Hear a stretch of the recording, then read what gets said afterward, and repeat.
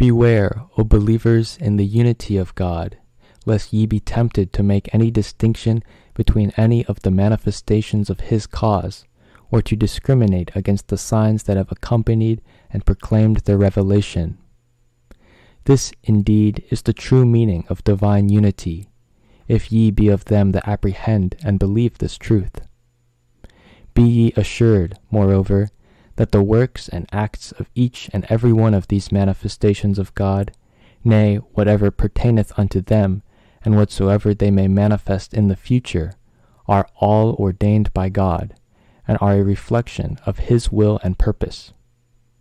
Whoso maketh the slightest possible difference between their persons, their words, their messages, their acts and manners, hath indeed disbelieved in God, hath repudiated his signs, and betrayed the cause of his messengers.